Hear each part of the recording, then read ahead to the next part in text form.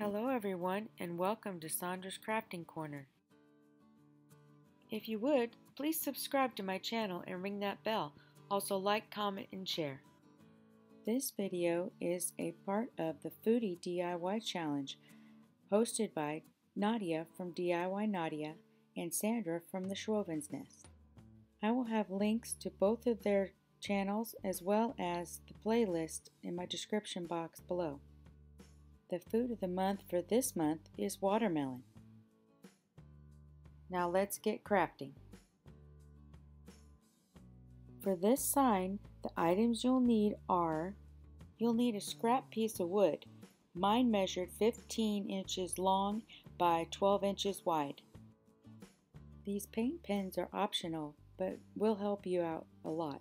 Santa Red, Chocolate Sprinkle, and I had to make my own green so I used bright yellow and two blue.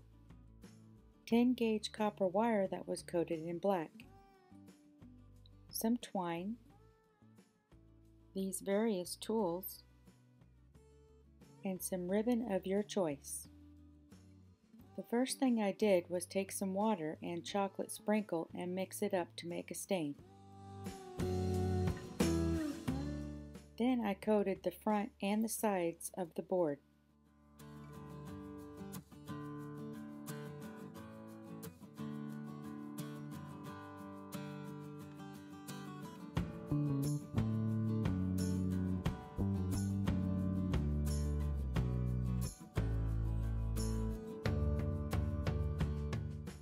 Next, I took this America sign from Dollar Tree and used it as a template.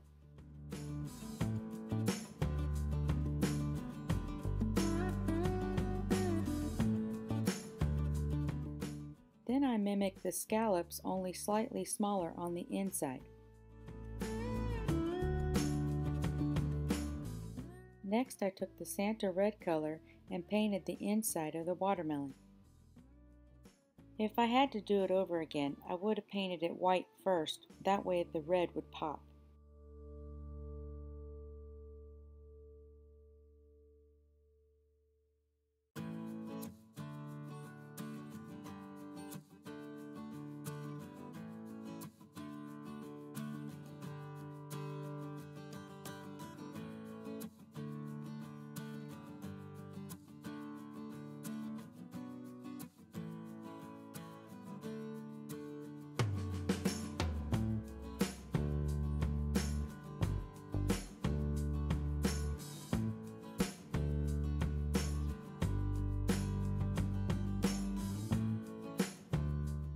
I ended up doing three coats.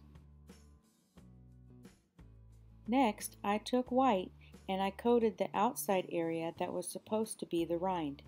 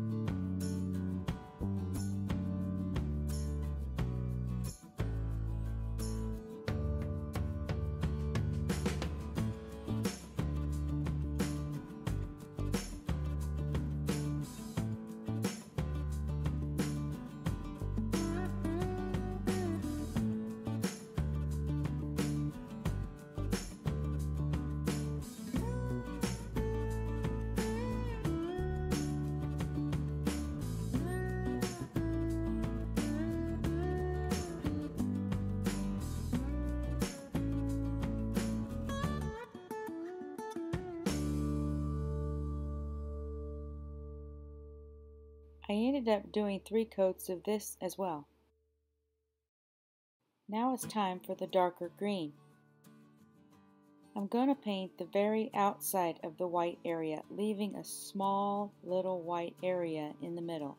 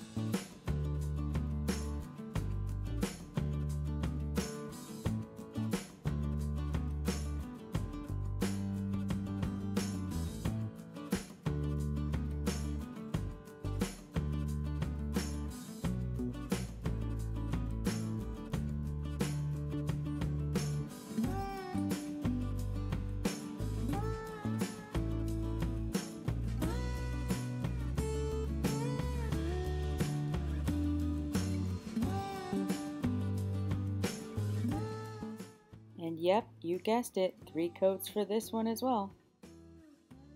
Now I take this light green that I made from taking the green and adding a little white to make little stripes to match the rind of a watermelon.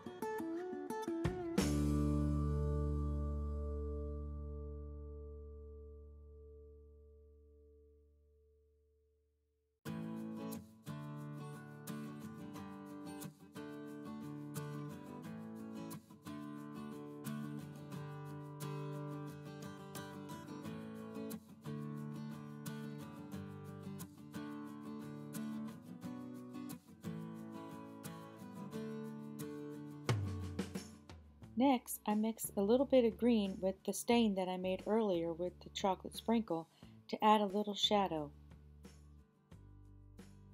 I just put it under the white line and then wiped it off with a baby wipe.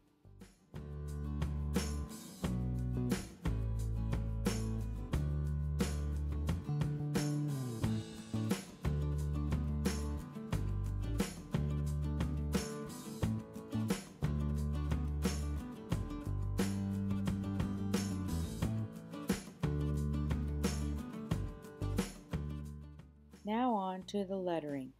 I found the center and decided I wanted to use the word welcome. So I put the C in the center and then did the O-M-E and then did L-E-W. I didn't want the font to be really strict, so I made it really whimsical instead. I still obsessed about the E's because I wanted them to match.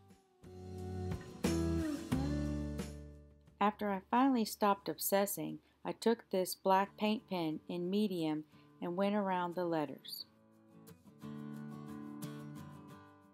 I put little dots on the letters to add a little whimsical touch.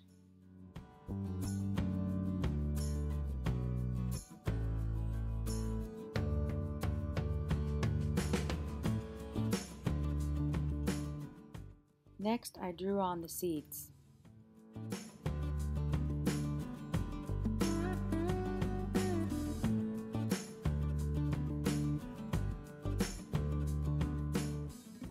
After that was dry, I took this white paint pen in medium and drew on some little highlights. My one-year-old granddaughter decided that she was wanting to help me with my craft project.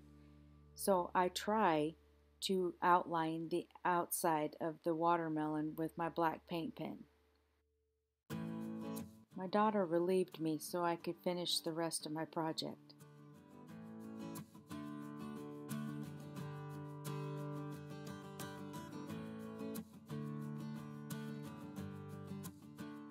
I decided it was still missing something, so I took that white paint pen and went around and made little squiggles and dots.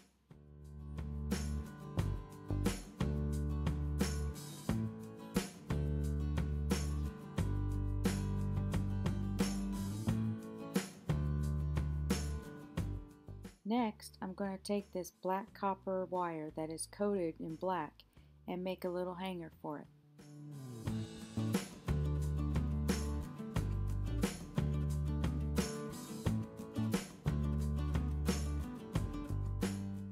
Thread the wire through the back of the sign, that way I can make these cute little curly cues in the front.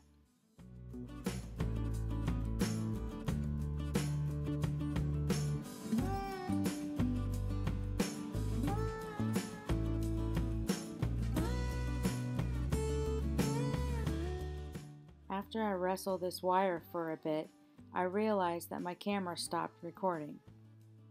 All I did was make a bow. I'm going to show you how I made it. I just took a loop like that, doubled it up, made one bigger than the other, and that was it. Now I'm going to make the tails. You just measure your ribbon by folding it in half and then cutting it off and then tying it to the back of the bow.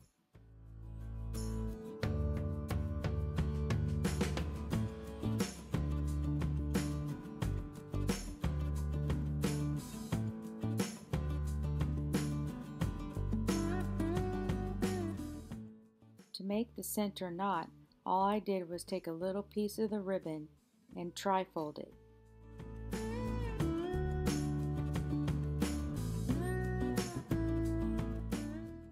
Shown here.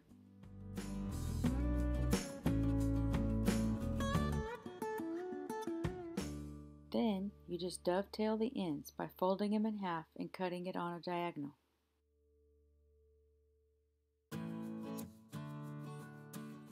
To make the center knot, all you do is trifold the ribbon, wrap it around your bow, and then hot glue it onto the back.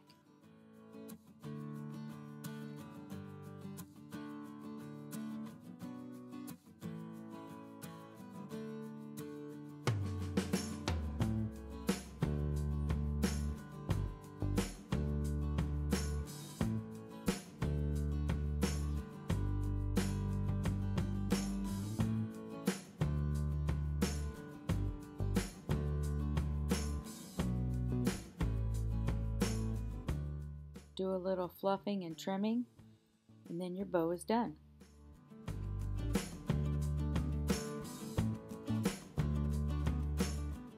It's here that I realized that the center knot would be better if it was wrapped around the wire first and then hot glued onto the back. So that's just what I did.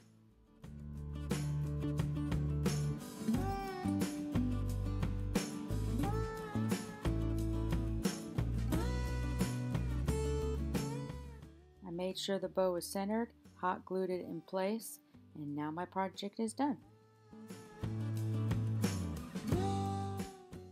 Now on to DIY number two.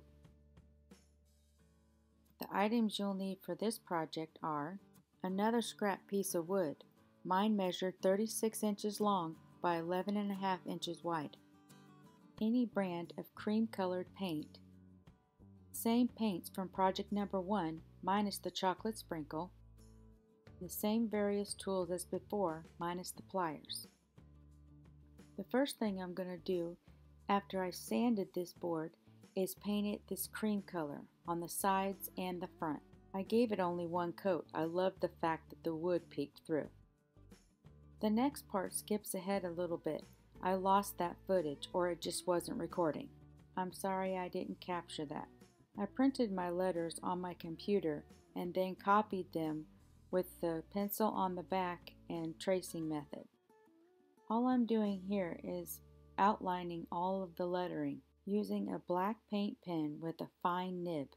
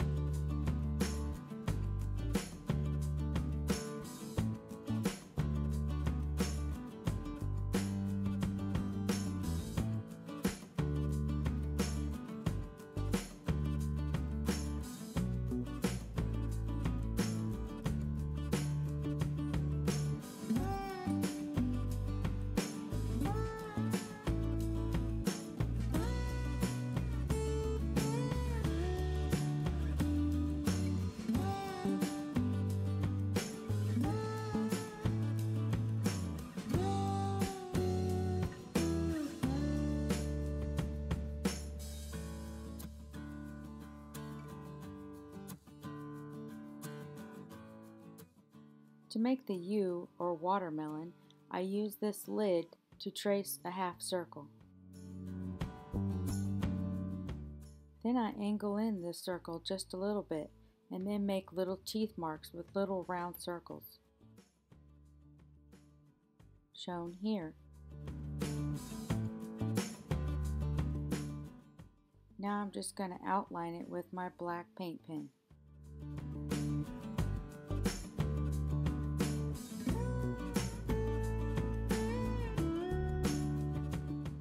Now I'm taking the pencil and outlining the rind.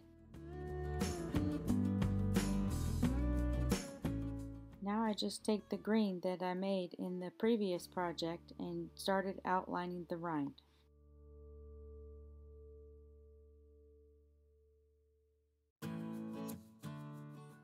I hope you can see the pencil outline a little better here.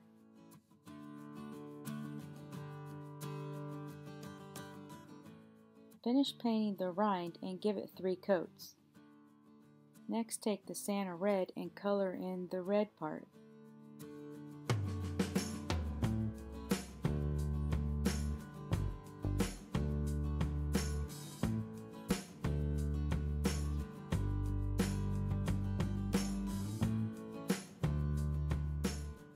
Go ahead and give that three coats as well. The sign was still missing something, so I made some stripes. I measured 4 centimeters in and 3 centimeters in and drew a line. Using painter's tape helped.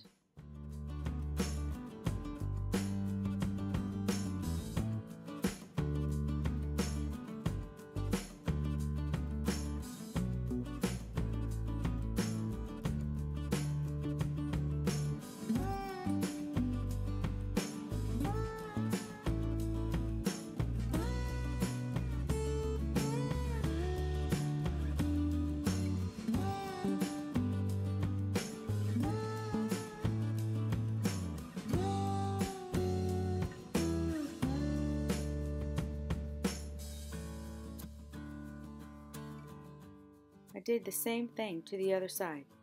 Next I take this paint pen and outline the lines.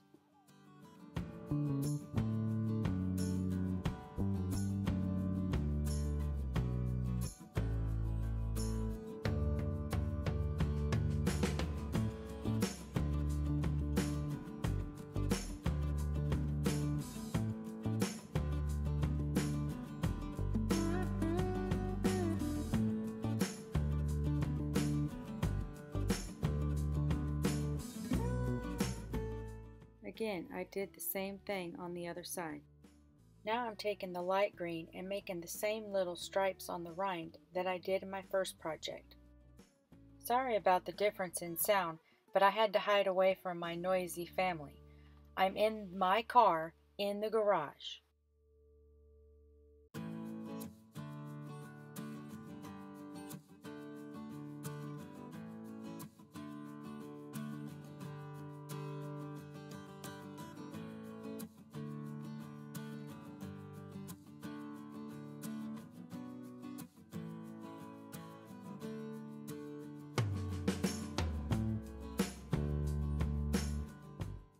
Going to take this Santa red and paint the bigger stripe on both sides.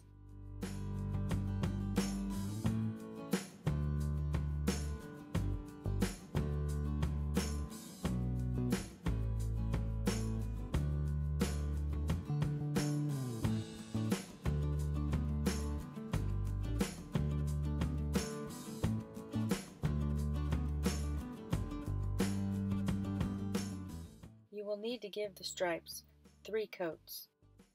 Since there was very little of this light green, I decided to make the small stripe the light green.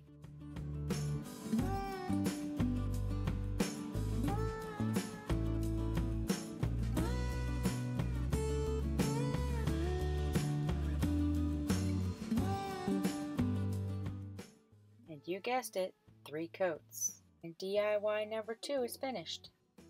On to DIY number three. The items you'll need are a mason-like jar from the Dollar Tree, this Rust-Oleum 2X Ultra Cover in Satin Apple Red, these paint pens or just paint, and this green yarn or some green twine. After spray painting the mason jar, making sure to keep the mouthpiece completely clean of any kind of paint, I take this green yarn and I go around the bottom, gluing the whole way around. After the first row, you don't need to glue anymore until you get to the end. I wrap the yarn about a third of the way up. Next I'll take the black paint pen and go around and draw seeds.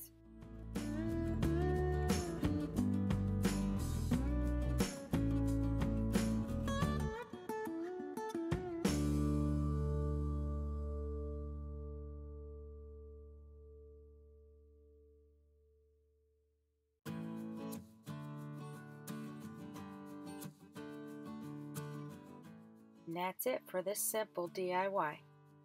And here are all three projects together.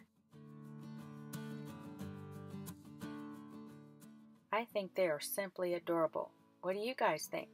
Let me know in the comments.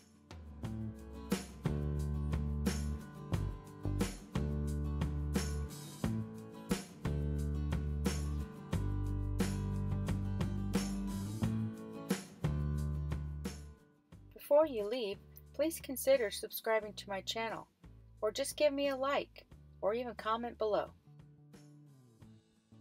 And don't forget to check out Nadia's and Sandra's channel, as well as the playlist for the Foodie Challenge.